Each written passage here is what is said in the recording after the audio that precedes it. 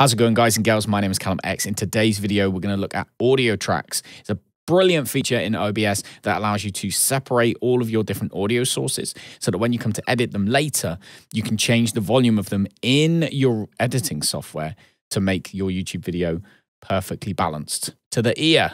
Hopefully you enjoy it. We'll get stuck straight in.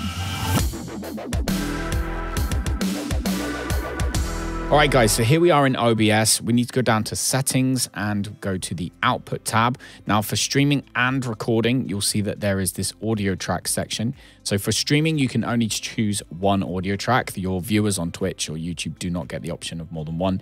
So we're going to choose audio track one for that for streaming. But for recording, you can actually record all of them. So we're going to record every single audio track that we have available. Now, this is really all you need to remember for this part is that streaming is going to be on one audio track and the, the recording can record all of them. So choose track one for streaming is my recommendation. And then you know that you have two, three, four, five, and six to use for other purposes. The next thing I need to draw your attention to is the actual audio mixer itself. Now, as you can see in this particular scene, I have got one, two, three different audio sources set up. And if I right click, on the cogwheel next to any of those audio sources and I go to advanced audio properties, it's going to bring me this menu just here. Now, this is the advanced audio properties menu. It gives you a list of all of your audio sources down the side. You can then change their volume. You can also choose to downmix them to mono, which we'll go into another time. We don't need that today. The balance, whether you want it left and right, again, leave that straight down the middle. Sync offset, don't need for this. Uh, audio monitoring, again, you don't need for this. What we're interested in is over here where the audio tracks is. Now, what you want to do is you need to send every audio source that you want to include on your stream to track one. That's your stream audio track, remember? So audio track one needs to have everything you want your stream to hear. That's going to include you know your game audio your webcam if you need it your microphone your discord audio all those things send everything your music all to track one. The rest of them, remember, we've got to play with for recording. So we're going to separate these out so that when I record it, I'll then be able to individually change the volumes. So we're going to send the desktop audio to track two, but we're not going to send it to three, four, five, and six. Okay. Now, the webcam here, I'm going to take away track two because I don't want it to go to the same audio source as my desktop.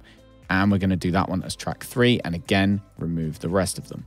We're going to do the same thing with microphone. Difference is we're going to take away track two and three, leave it on four, and take away five and six. So now if you have a look at this, you can see that the stream, which is on track one, is going to be able to hear all three of these audio sources. However, in the recording, I'm going to be able to either have the audio source with everything on it, or I'll be able to separate just the desktop audio just the webcam audio or just the microphone audio. All right, so here we are in Adobe Premiere, just so I can show you a brief example of this. Uh, this is the last video that I recorded up on YouTube about the audio ducking. If you don't use that particular trick, then go and find it. I think it will be up above somewhere, or if not, it's on my channel. Awesome, awesome audio trick. So if I click play on this video, then you'll be able to see if I go to the audio clip mixer that there are different tracks so this is my main track. So this is a combination of this one and this one. This is my microphone and this is my music, I believe, at this point in the video.